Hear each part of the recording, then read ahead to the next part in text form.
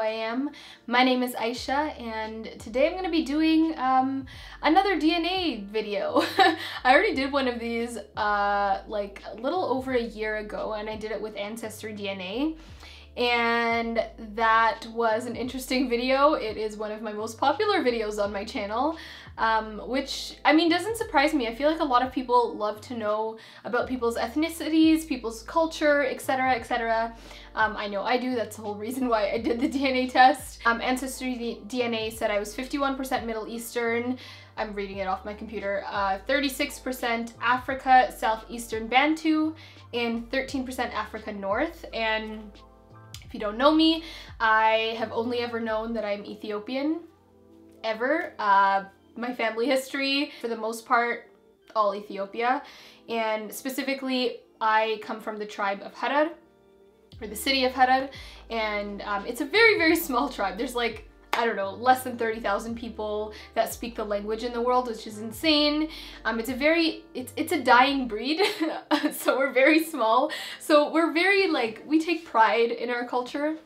Um, which is why that shocked me so much. And I'm like, listen, I need to do some more investigating. So I ended up ordering from, uh, what's it called, 23andMe because a lot of people in my comments actually recommended that I try 23andMe instead of Ancestry DNA. So I purchased it. I did the whole spitting test.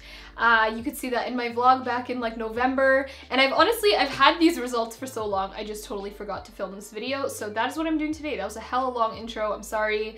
Um, but if you're still not subscribed to my channel, please subscribe down below, join the fam. I'd love to have you here and give it a big thumbs up. And yeah, let's get into this. I have my reports just kind of on my phone, hopefully you can see that. It says your reports are ready.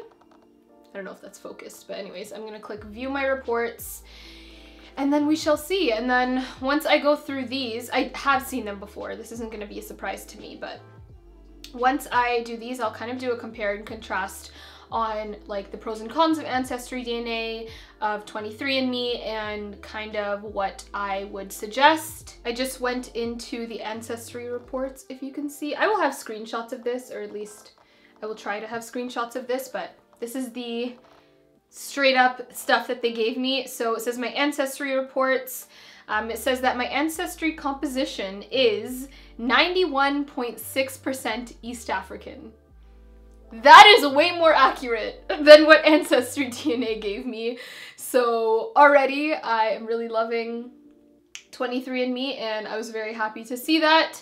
Um, and that is what it was true. Now, what I actually, you know what, let's let's continue with 23andMe and then I'll explain a little bit more about um, what I feel about Ancestry DNA. So anyways, over here, and I'm just gonna screenshot this, that is like all of the compositions.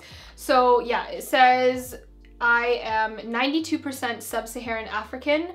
So within that it says East African and under that it says Ethiopia. So it actually says specifically what country it is. I know a lot of people confuse me for Somali or for, actually it's mainly just Somali. but um, yeah, it actually does say 91.6% Ethiopian and it says point or 0.2% West African and 0.3% broadly sub-Saharan African. So I'm not really sure what sub-Saharan African is, but I think that's around the same region. The 0.2% West African is actually a little surprising, but at the same time, not really because Africa, like I feel like people moved back in the back in the years. But I mean, the important part is that it says 91.6% Ethiopian. So not that I needed like proof, but it is nice to kind of see it in writing. Um, and also when you do these spitting tests, like you don't put in any information about yourself. All they're knowing is your name, your address, and your spit. So it's not like they'll be like, okay, I think this is what she is. Like that's all they're judging it from. Anyways, all the other percentages, it says um, I'm 6.9% West A Western Asian and North African. So North African and Arabian is 5.6%, Western Asian is 0.2%, and broadly Western Asian and North African is 1.1%. So I'm guessing the 5.6%, I guess I'm not really Middle Eastern at all, the 5.6% um, North African, I would assume that is Egyptian because there were a lot of Nubians in Egypt. Um, and then also I know a lot of people I know there were settlers like that moved from where I'm from in Ethiopia, Harar to Egypt. So I think that has something to do with it. I can't be 100% sure. And then it says I'm 0.5% European. Um, I don't know. I don't know what that could be to be honest, but it's so little it really doesn't even make a difference. And then it says I'm 0.6% unassigned. So that is basically it for my composition. Your girl is Ethiopian. I have a little bit of North African in me, which again I said is probably Egyptian or something like that. Um, and yeah, so it says this, what I also actually really like is it shows your ancestry timeline. So it shows like how many generations back, um, like the areas you're from are, if that makes sense. I don't know if that makes any sense, but I'll show another screenshot of this as well, actually. Um, but it says one to two generations uh, East African. So, and then it shows back four generations, so four to seven generations ago. Um, that's where the North African came in. And then the Western Asian was five to eight plus generations ago. And then the Western African is six to eight generations ago. So that's the smallest. And then it goes Western Asian, then North African, then East African. So that's quite interesting. All pretty much African though, which I'm very happy about. Go Africa. and then it shows like your chromosomes and stuff, but I don't really understand that stuff. I also got the health results, so that's another thing that I really love about Ancestry DNA. You can get your health results to see what genetic stuff is in you. So like, wow, I'm sounding like a bimbo in this video. but um, it could basically just test you for certain like diseases and stuff like that. I didn't really want to check that, so I just clicked I don't want to know um, because Allahu A'lam, only God knows what I'm gonna have, you know, and I don't want to freak myself out by knowing now. Um, but it did tell you things like if you're lactose intolerant, stuff like that. It did say I'm likely intolerant. Oh, okay, so this is actually really interesting. Um, it shows you the scientific results for the um, like ethnicity composition. So it shows Africa, or sorry, under East Africa, it shows Ethiopia, Somalia, Eritrea, Kenya, and Sudan. Um, but it shows that the match, it actually shows like the match strength. So maybe I can just like show you guys this way. I don't know if you'll be able to see that, but there's like dots and stuff. And then, oh, there you go.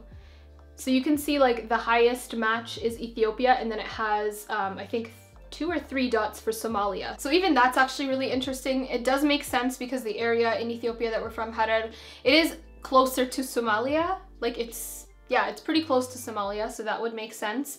But it is saying the highest match strength is Ethiopian, so.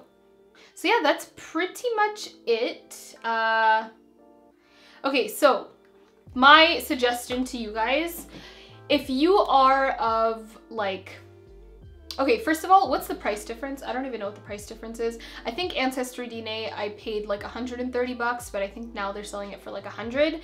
And then for 23andMe, to be honest, I don't really know how much I paid, but it was probably around the same amount, to be honest. Like, I think it was around the same amount. I'll have the prices down below for you guys.